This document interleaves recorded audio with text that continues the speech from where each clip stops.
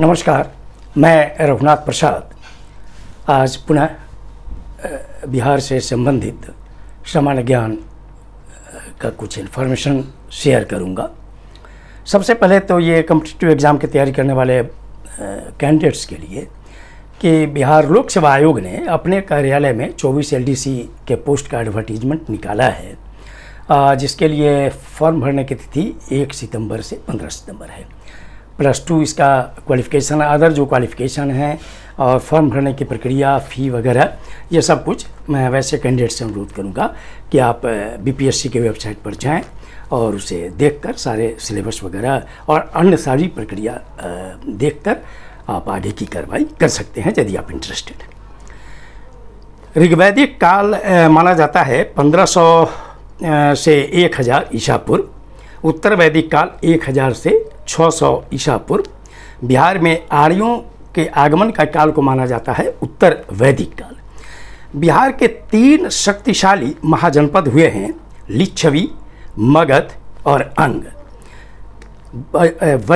वज्जी संघ जो है, वो आठ राज्यों का संघ रहा है। वैशाली अपने देश का प्रथम गणराज्य रहा लिच्छवी गणराज्य के संस्थापक इक्ष्वाकु थे। महात्मा बुद्ध का संबंध शाक्य कुल से है। अंग का मतलब अभी के समय का भागलपुर और मुंगेर जो पूरा पुराना है और राजधानी चंपा थी। मगध की राजधानी पहले गिरिब्रज राजगृह थी जो बाद में पाटलिपुत्र हुई और प्रतिष्ठित रा, राजा जो इस वंश के हुए बृहद्रथ और जरासंध। संस्थापक हैं इसके बिम्बिसार जो पाँच सौ चौवालीस ईसा पूर्व से चार सौ बिरानवे ईसा पूर्व तक रहे। दूसरे इम्पोर्टेंट शासक, अजात शत्रु हैं, जो चार सौ बिरानवे बीसी से 460 बीसी रहे और उदयन, जिन्होंने जैन धर्म स्वीकार किया था, वो 460 बीसी से 444 बीसी शिशु नागवंश का काल है 412 बीसी से तीन सौ चौरानवे और नंद वंश का काल है 344 बीसी से 322 बीसी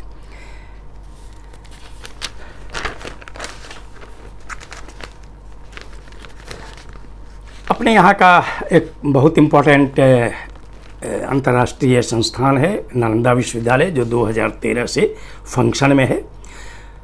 और एक जानकारी कि जब यूक्रेन से युद्ध शुरू हुआ तो बिहार सहित देश के अन्य राज्यों के जो मेडिकल छात्र उसमें फंस गए थे, उन्हें जो निकालने के लिए जो जो कार्य किया, जो ऑपरेशन चलाया गया भारत सरकार के द्वारा, वो गंगा ऑपरेशन कहलाया। अपने राज्य के मुख्य न्यायाधीश हैं श्री संजय करोल, मुख्य सचिव हैं श्री आमिर सुबहानी डीजीपी हैं श्री एस के सिंघल मुख्य सूचना आयुक्त हैं श्री नरेंद्र कुमार सिन्हा बीपीएससी के चेयरमैन हैं श्री अतुल प्रसाद बीएसएससी के चेयरमैन हैं श्री रविंद्र पवार। अब मैं पुनः पीछे जा रहा हूँ कि मौर्य वंश का जो शासनकाल है जो बहुत प्रथम शासक चंद्रगुप्त मौर्य, जिनका है 345 बीसी से 322 बीसी बिंदुसार दो सौ अंठानवे बीसी से दो सौ तिहत्तर बीसी और अशोक का दो सौ बहत्तर से दो सौ बत्तीस बीसी। चाणक्य चंद्रगुप्त के गुरु और प्रधानमंत्री रहे और इन्हीं के सहयोग से चंद्रगुप्त ने नंदवंश को समाप्त किया और वो राजा बने थे। अशोक का जो उपनाम है, वो प्रियदर्शी है। प्राचीन भारत की एक लिपि है जो दाएँ से बाएँ लिखी जाती है, उसे खरुष्टी कहते हैं। कर्नाट वंश का संस्थापक नान्यदेव हैं। फायान आए थे चंद्रगुप्त टू विक्रमादित्य के कार्यकाल में और मौर्य साम्राज्य का सात वर्गों में विभाजन की चर्चा इंडिका में है। अशोक के धर्म का मूल उद्देश्य बड़ों का सम्मान था। कौटिल्य की पुस्तक अर्थशास्त्र वो शासनकाल के सिद्धांत पर आधारित है। त्रिपीटक, वो बौद्ध धर्म की एक पुस्तक है। मेगस्थनीज सेल्यूकस के दूत थे। कर्नाट वंश का अंतिम शासक हरि सिंह सिंधु घाटी की सबसे बड़ी विशेषता क्या है? वो पक्की ईंट से बनी इमारत। नालंदा विश्वविद्यालय के संस्थापक हैं श्री कुमार गुप्त। अजात शत्रु का वंश है हरियक वंश। बोध गया का बोधि वृक्ष अपने पंचम वंश का है। वेन संघ ने नालंदा विश्वविद्यालय का अध्ययन किया था और वह आए थे हर्षवर्धन के शासनकाल। मगध का जो राजा सिकंदर के समकालीन थे वो घनानंद थे। विक्रमशिला शिक्षा केंद्र का संस्थापक धर्मपाल थे। चंद्रगुप्त का महल लकड़ी का बना हुआ था। स्तंभ जिसमें अशोक ने स्वयं को मगध सम्राट बताया था, वो भब्रू है। शेर शाह का वास्तविक नाम शेर शाह शेर खां था, जो सासाराम के जागीरदार हसन खां के पुत्र थे।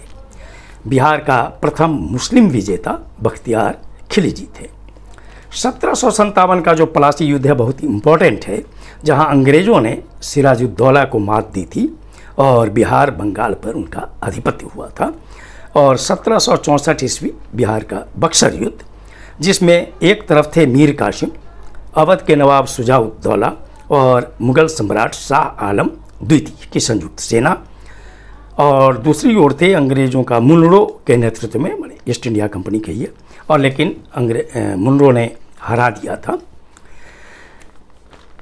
पटना में जो गोल घर है, वो 20 एक सत्रह से 20 सात सत्रह तक बना है और ये हेस्टिंग्स की योजना थी। कुंवर सिंह का नियंत्रण जो आरा पर हुआ, वो 24 जुलाई अठारह को और 25 जुलाई अठारह को दानापुर रेजिमेंट में सैनिक विद्रोह हुआ।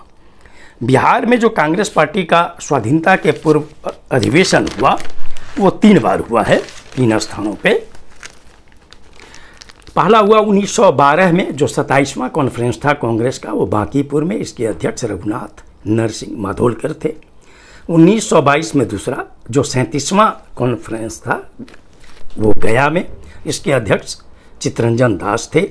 और 1940 में रामगढ़, जो अब झारखंड में है, वो फिफ्टी थर्ड ये कॉन्फ्रेंस था कांग्रेस का, जिसके अध्यक्ष मौलाना अबुल कलाम आज़ाद थे। बिहार प्रांतीय कांग्रेस कमेटी का गठन 1908 ईस्वी में हुआ। अध्यक्ष थे सैयद हसन इमाम। 16 बारह 1916 को बांकीपुर पटना में होम रूल की स्थापना हुई थी, जिसके अध्यक्ष मजरुल हक हुए। 1917 ईस्वी में गांधी जी के नेतृत्व में तिनकठिया प्रथा नीलह खेती के विरुद्ध आंदोलन शुरू हुआ चंपारण में।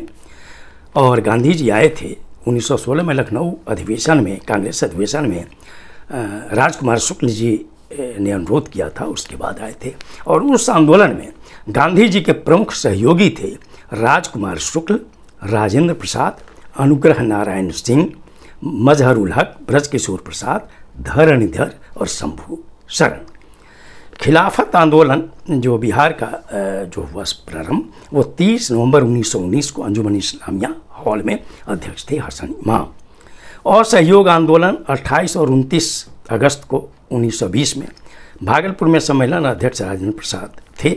स्वराज पार्टी का गठन बिहार में हुआ 1923 में, जो बिहार के श्री श्री कृष्ण सिंह इसके अध्यक्ष हुए और श्री नारायण प्रसाद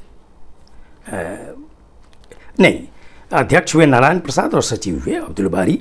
लेकिन वो जो नेतृत्व किया जा रहा था, वो बिहार के श्री श्री कृष्ण सिंह के द्वारा। 12 दिसंबर 1928 को अनुग्रह नारायण सिंह के नेतृत्व में पटना में साइमन कमीशन का विरोध किया गया। 15 अप्रैल 1930 को चंपारण और सारण में नमकीन मिट्टी बनाकर नमक सत्याग्रह का प्रारंभ किया गया। बिहार में सविनय अवज्ञा आंदोलन के प्रमुख नेता राजेंद्र प्रसाद और ब्रज किशोर बाबू थे। आज इतना ही। ये वीडियो आपको अच्छा लगा हो तो निश्चित तौर पर लाइक करें, शेयर करें। अब तक मेरे चैनल को आपने सब्सक्राइब नहीं किया तो सब्सक्राइब करें, बेल आइकन को अवश्य टच करें ताकि मेरे हर आने वाले वीडियो का नोटिफिकेशन आपको तुरंत मिल जाए।